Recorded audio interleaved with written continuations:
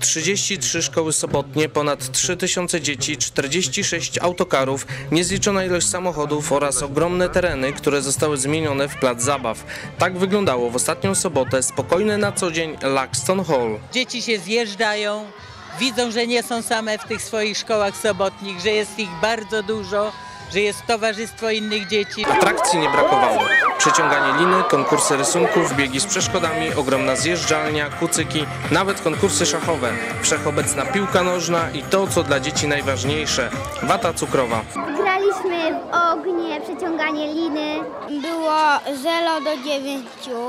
Tak? Czyli kto wygrał, przeciwna? Drużyna przeciwna, bo mieli 15 lat, a u nas mieli tylko 10.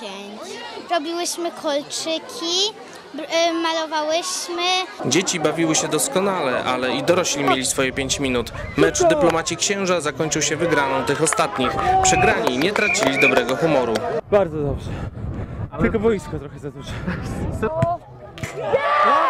Idea powstała, żeby po prostu Polacy się poznali, nie tylko w swoim mniejszym środowisku, w mieście, ale żeby Polacy też poznali, że są Polacy rozproszone po całej Anglii i Walii.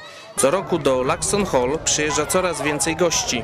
Już we wrześniu odbędzie się tutaj tak zwana angielska letnica, która gromadzi setki ludzi na refleksji i modlitwie.